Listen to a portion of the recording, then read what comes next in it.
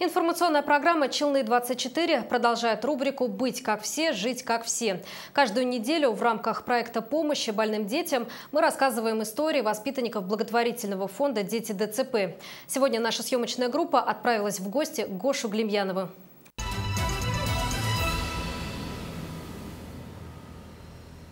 На днях Гоша вернулся с аквапарка, рассказывает мама. Мальчик всегда окружен любовью и заботой. Сейчас ему 13 лет. Родился он недоношенным на 32-й неделе. При рождении ребенок не дышал. Его сразу отправили в реанимацию, где он провел много времени. Но полностью организм так и не восстановился. Оказалась пораженной центральная нервная система. Ребенок перенес 9 операций. Так, 7 операций у нас на глаза. Финальная операция была в Уфе. Там ему поставили импланты в глаза, искусственные хрусталики.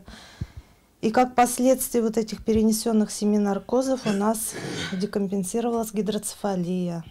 В 6 лет его шунтировали. Гоша не разговаривает. Врачи говорили, что не сможет он и ходить. Однако вера мамы в мальчика и усиленное лечение показали обратно. Ребенок встал на ноги. Теперь Гоша ходит самостоятельно. Мальчик родился в спортивной семье. Различные упражнения на укрепление организма и ЛФК – это уже вошло в привычку мальчика. Ребенок невербальный, то есть у него и психические нарушения имеются, и двигательные нарушения – ну, сейчас вот с переходным возрастом он стал более адекватный. Сейчас интересуется компьютером, телевизором. У него есть свой любимый сериал, который он смотрит.